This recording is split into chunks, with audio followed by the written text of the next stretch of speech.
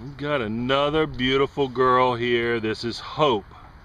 And Hope is beautiful. A little female chocolate lab. Look how pretty she is. She's standing so pretty. And Hope is about two years old. So she's young and about 50 pounds. I think 53 pounds. So she's a great weight. She's uh, just a beautiful dog. Just about, look at that look, man. She's just locked in on something. Isn't that beautiful? Oh, ears are up. hey, what you see, girl?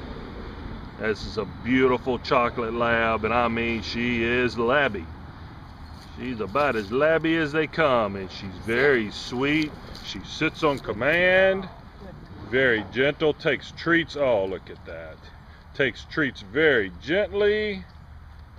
What a beautiful girl. Whoops, she dropped some. Did you drop your treat? Another one? I think she didn't want that one. Sit. There we go. Sit. Sit. Tired of sitting. She's looking at you like, I already what did a it once. pretty so- girl.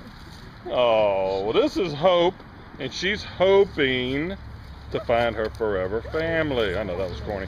Um, let's see. What a beautiful girl. I was just asking Jan, where, how these dogs, these beautiful, look at that, these beautiful, gorgeous labs get into this mess. Who could give that up? I just don't understand it.